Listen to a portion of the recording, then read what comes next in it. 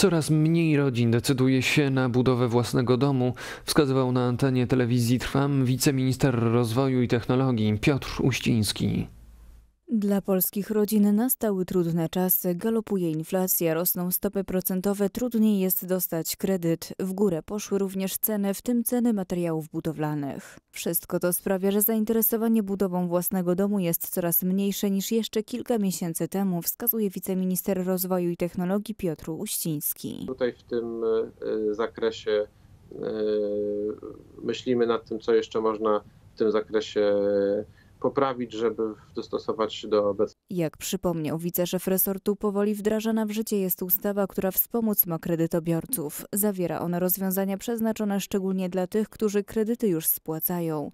Z ułatwień mogą jednak skorzystać także ci, którzy ten kredyt dopiero zamierzają wziąć. W końcu wchodzi w, teraz po- pod koniec maja, 27 maja w życie ustawa o tym w- mieszkaniu bez wkładu własnego, czyli y, ułatwienie dotyczące rodzin, które, które stać na kredyt, które mają zdolność kredytową, ale nie mają nazbierane na wkład. Budowę własnego domu ułatwić ma również ustawa Dom bez formalności, która weszła w życie na początku roku.